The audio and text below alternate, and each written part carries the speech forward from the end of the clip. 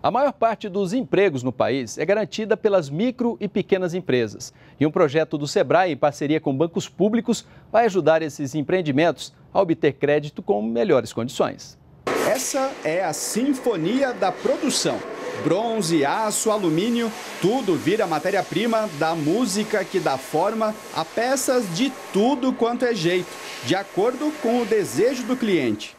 A empresa já existe há 24 anos, hoje conta com oito funcionários e produz peças para reposição no maquinário de grandes empresas. Já fez um empréstimo para investimento, eles compraram essa máquina aqui e já estão com o um segundo financiamento aprovado. Logo, logo vai ter equipamento novo e tudo isso com condições bem melhores que aquelas praticadas no mercado. Os pontos positivos é justamente a taxa do mercado, né, pela concorrência, pela pesquisa que a gente fez, os juros são bem mais baixos, a gente consegue substituir as máquinas, a gente consegue gerar mais emprego, a gente consegue investir. Agora, empresas do mesmo porte que a do Kleber podem acessar uma linha de financiamento para capital de giro. Aquele dinheiro que é para usar nas despesas do dia a dia, como salários de funcionários, por exemplo são 5 bilhões de reais disponíveis, recursos do Fundo de Amparo ao Trabalhador, FAT. 2 bilhões vão ser repassados por meio do Banco do Brasil e outros 3 bilhões pelo Banco Nacional de Desenvolvimento Econômico e Social, BNDES.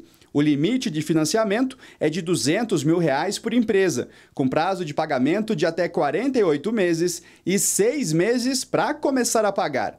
30% dos contratos devem atender a microempresas que faturem até 360 mil reais por ano. Os juros devem ficar na média de 1,3% ao mês, ao passo que o praticado nos bancos privados pode passar do dobro. É necessário que as, que as empresas estejam em dia com as suas obrigações fiscais, trabalhistas, previdenciárias.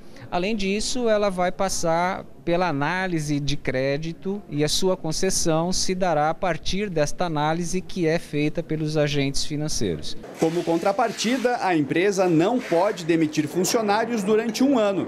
Se tiver mais de 10 empregados, além de garantir as vagas, ainda tem de contratar um menor aprendiz, jovem entre 17 e 24 anos, a novidade foi apresentada neste mutirão de crédito orientado em São Bernardo do Campo, na Grande São Paulo. As reuniões também devem acontecer em outras regiões do país. E o Sebrae também possui um fundo que os micro e pequenos empresários podem acessar para usar como garantia na obtenção do crédito. É um projeto integrado e que o Sebrae entra com a novidade do FAMP, que é o Fundo de Aval para aquela micro e pequena empresa que não tenha garantias reais para assumir o financiamento, desde que assistida no crédito orientado, ela pode receber o aval do SEBRAE. São consideradas micro e pequenas empresas aquelas que fazem parte do Simples Nacional, com faturamento de até 3 milhões de reais por ano.